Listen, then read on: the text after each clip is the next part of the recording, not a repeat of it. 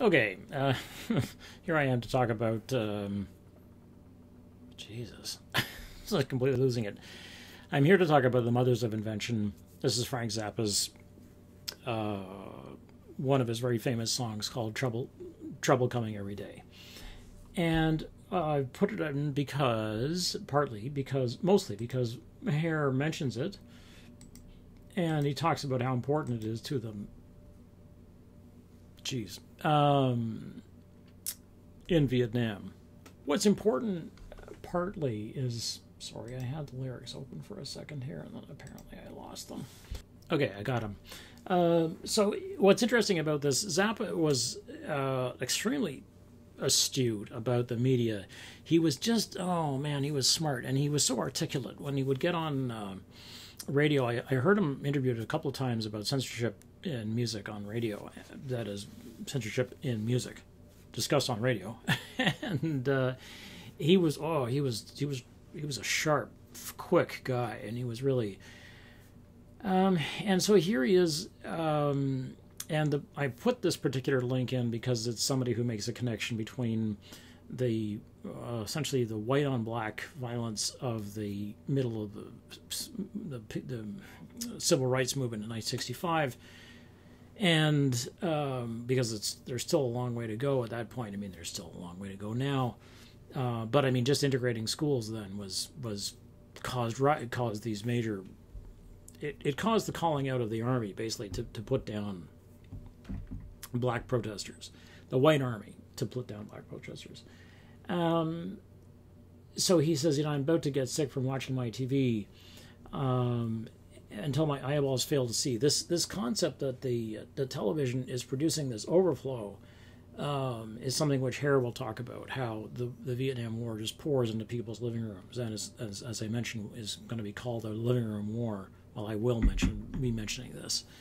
Um, and he says um, it's just another rotten mess. And so it's not a hopeful song. I mean, he's he's as he says, I'm hoping and I'm waiting and I'm hoping for the best. Um, there's trouble coming every day. So then he says um, he watches the cops, and uh, the, he's not happy, obviously, about either side here. Um, and then he and then he takes on he takes on the television. He's very very good about the television. He says, "Well, you can cool it, you can heat it, because baby, I don't need it. Take your TV tube and eat it." And it's like, "Hey, baby, cool. what is this? This what this refers to is basically he's like he's not he's not aligning himself with any of the movement. It's like you know, hey, baby, you know, cool it, be chill." Um, he's like, "Well, you know, you can cool it, you can heat it." Like I, he's he's not uh, he's not thrilled with any of these positions take your TV tube and eat it. And the, the tube, the TV was called the tube because it really was a tube. It was a picture tube, which was like a big light bulb, effectively. Um, and then he sort of goes off on a, a nice uh, sort of takedown of the uh, chummy, uh, friendly FACO world on of, of television. You know, the all that phony stuff on sports and the unconfirmed reports. And then he says, you know, I watched that rotten box till my head began to hurt. And your head actually did hurt because of the flickering. I mean, the the the tube, the television tube, was a raster. Um, it was raster technology, which means there was a gun, a, an Ultron gun at the back of the tube, and it was painting the screen very well, relatively quickly but it painted the screen the screen first of all had these the bar the lines in the screen were quite visible. I mean we're used to these very very high resolution screens now where you you really can't pers your eye isn't aware or your brain isn't necessarily aware the screen is flickering. Um, it is flickering. The it's flickering on at an extremely fast rate. But at the time the television set was flickering on. It was like on and off on and off and you'd get a massive headache because you was the eye strain and you know if you were watching black and white oh, you know it was the picture wasn't clear and sharp and it was fuzzy and you know you try to get closer and okay. They would always say you know your parents would always say you're too close to the television back up um, until my head began to hurt. Um, and then the he and he also is very clever about not giving channel recognition right? He won't talk about who it is. You know it's not cbs he says you know before the guy's on channel so and so and further they assert that any show they interrupt uh, to bring you news if it comes up. Okay so this is the um, if the place blows up so the uh, what would happen when you were watching a show was that there was no way of getting the news out to people rapidly. They really, you either had to wait for a morning paper if something bad happened overnight. You waited for the morning paper, or the evening paper, which there were evening papers, uh, or the radio, which is actually what you would most. Uh, I certainly rely. We certainly relied on the radio because the radio would update the news every hour.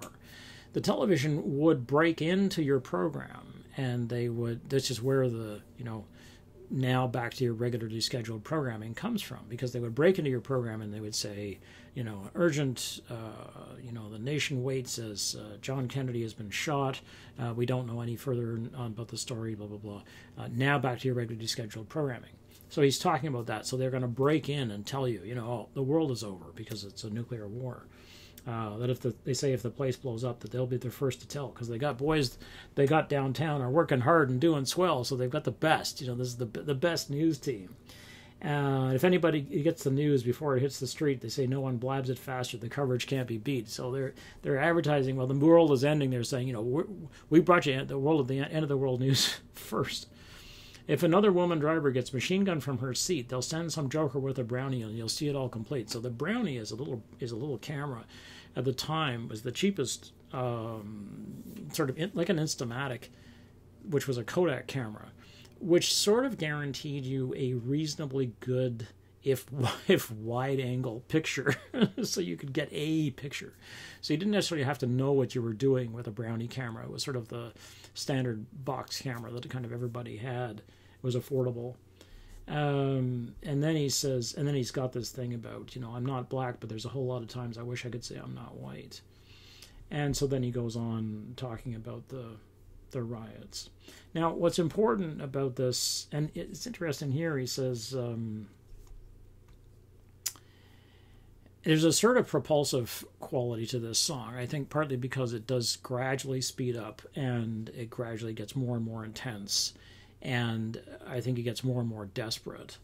Um, and the narrator becomes um, less and less calm, I guess, about you know how things are going because it's uh, things just get are getting worse and worse. So at some point he says because um, the fire in the street ain't like the fire in the heart, which is really interesting. I mean, this it's just such I don't know. It's such raw, naked poetry. Um, don't know that this could start running. Okay. Don't you know that this could start on any street in any town, in any state, if any clown decides that now's the time to fight for some ideal he thinks is right, and a million more agree, there ain't no great society. Okay, so the Great Society programs, and I'm going to be talking about this. This is um, but I have talked about it to some extent as in the background. And this is Lyndon Johnson's real legacy. Uh, well, two legacies that Johnson, you cannot separate them, as I said. The Vietnam War, which is one of his very, very much one of his legacies, and the Great Society program. If we didn't have that, we wouldn't have Medicare, which was was going to lead on to Obamacare, and we wouldn't have uh, Johnson knew how to get the Congress to agree to put through legislation for uh, integrate school integration and equal rights treatment, basically, the end of the Jim Crow laws and so on. Okay, so uh, blow your harmonica, son. Okay, so that's that one.